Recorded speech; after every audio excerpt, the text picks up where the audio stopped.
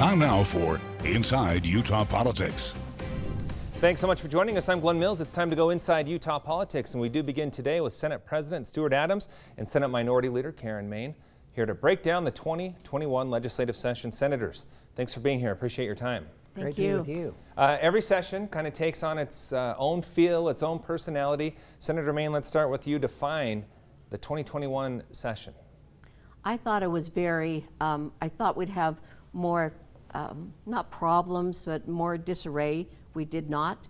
Uh, I think we had things, uh, things were put in place. I think we had a regimen. I think we had uh, a division where we needed to go. We needed to take care of the economy. We needed to move things along. And I think that everyone was on the same page to make that happen.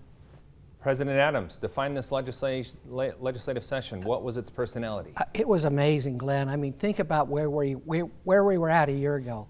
We were shutting down restaurants, we were shutting down gyms, we were shutting down businesses, we were all self isolating, wondering about our lives and wondering about our livelihoods, whether we'd be in the middle of a Great Depression or what might happen. Because we managed COVID so well, this legislative session was like none other that I've experienced. We funded increases for education. We funded increases for infrastructure, almost $1.2 billion.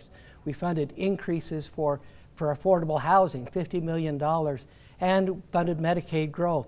Uh, for the, we helped the vulnerable.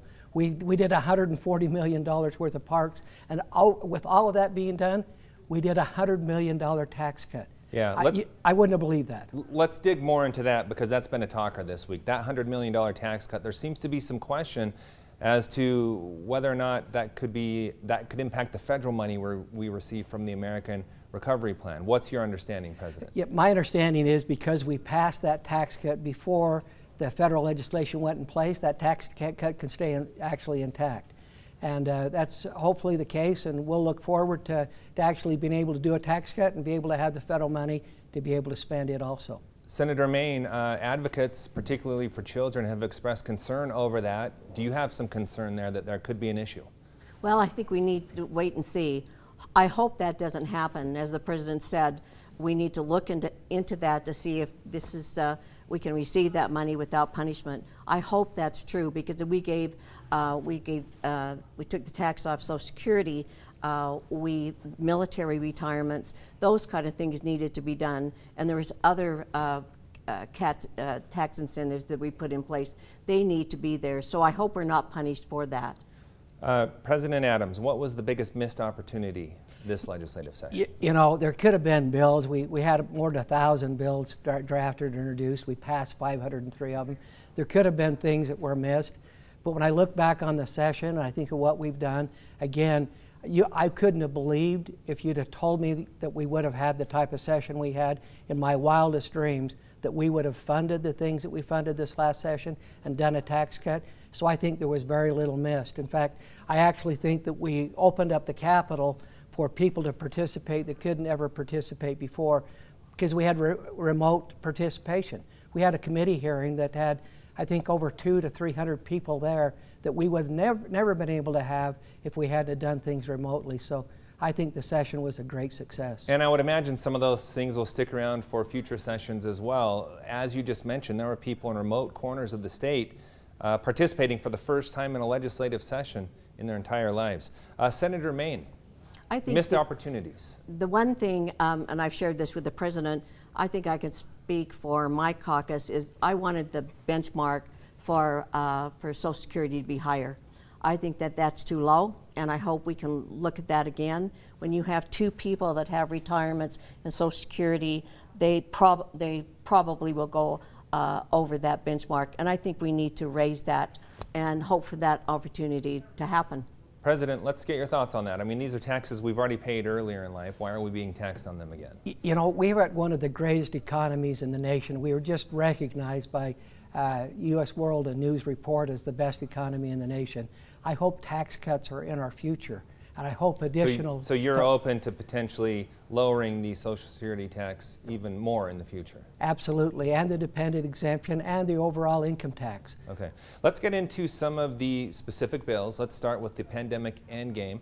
Senator Mayne, uh, we are getting very close now to seeing our mask mandate and other restrictions lifted. Was April 10th the right date for that, in your opinion? Well, you know, I don't think we asked the virus about that. Uh, I'm concerned about a certain date. We don't even know when we have a cold when it's going to end. And I think uh, I think we should have a vision of, of what we're doing to, you know, take the uh, take the uh, precautions down. I think that was moving along, but a date I'm I'm uncomfortable with. I think it's going to be really difficult. Uh, I don't know, harmful to small businesses when they have to pick and choose. If they don't feel safe with them, you know, fighting with one of their customers about a mask, and they want to have a, a healthy environment for their businesses. So I hope that doesn't happen. I, I just wish that, because everything's moving so well. I talked to the county today and my entities, and they're so hopeful.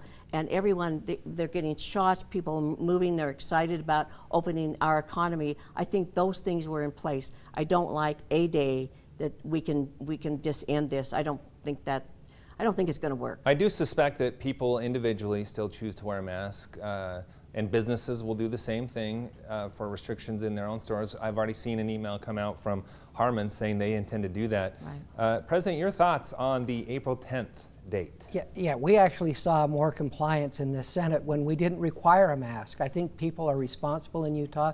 I think we've seen that. We have one of the lowest case fatality rates. And uh, it's an exciting spot to be. We've got uh, over a million people or a million vaccines that have been administered.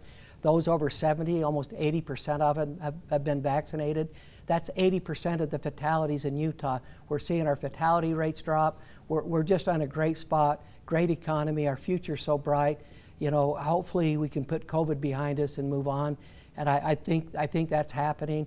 And I think it's a very exciting time for the state of Utah. Let's move on to a big bill that really became a big talker this legislative session that I didn't necessarily see coming into the session, and that would be the Dixie State name change.